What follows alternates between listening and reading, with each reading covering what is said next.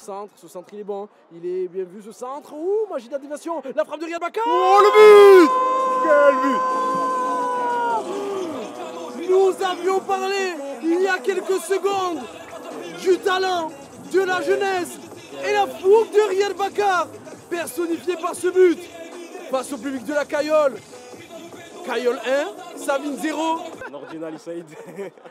Il est pas en jeu, attention, la sortie attention. Ouh, la sortie Elle est loupée la sortie Relax. Et ça va peut-être permettre à Nedjina aussi la frappe Et c'est arrêté sur la ligne par Jérémy Milly, heureusement Heureusement parce que cette équipe de, de la Caillole récupération. Ouais, perte de balle avec la passe de Jérémy Millet, Millet, pardon, avec Tlili. Tlili, couloir gauche, il va rentrer sur son pied. Ah. Tlili, Karim Tlili, la frappe pour l'arrêt d'Amidou Diarra.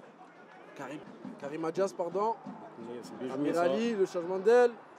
Bon contrôle. Ouais, le contrôle de Medjim, il est bon. Le contrôle là. Oh, frappe Oh, l'arrêt Oh, Quel La frappe de Nadir Boukenouche, quel arrêt J'ai vu le bas. Par Amidou Diarra. Rapidement, qui trouve Boukenouche. Quel dégagement, Oh, quel le contrôle Ça aussi, j'espère que c'est dans la boîte pour le résumé. Jean-Marc Lamperti qui était demandé au milieu de terrain, il semble être là, il est là, et il va donner ce ballon avec Karim Tlili. Karim Tlili face à Midou Diarra. Tlili la frappe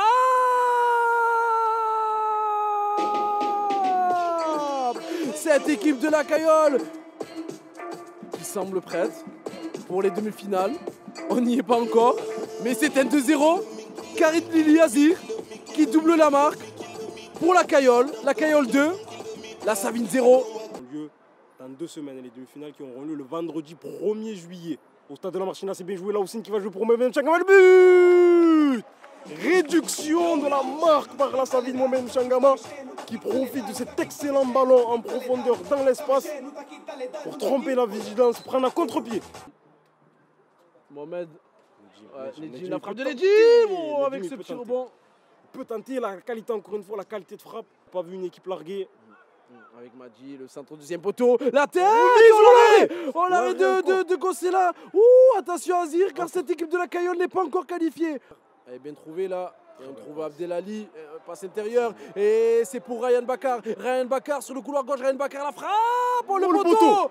Oh, Le le poteau. poteau, il aurait pu, il avait la poteau. qualification de cette équipe de la Caillole au bout du pied. Les deux parades qu'il a dû faire. Ah, il va dégager, il va essayer de trouver Abdelali, Djibril, y a-t-il hors jeu? Non, Djibril avec Amidou Diarra, Djibril, Djibril, jouer. Djibril Oh, magnifique Magnifique Djibril, la caillole semble se rapprocher des demi-finales. On sent la libération du public, du quartier, de toute la caillole. Jamal Bounou exulte, ainsi que ses coéquipiers. Récupération de balle, on va appuyer. On va appuyer du côté de la caillole avec ce ballon vers Otman. Otman, Otman et belle défense de. Oui, le contre son camp. Oh non Oh non Ah, c'est malheureux.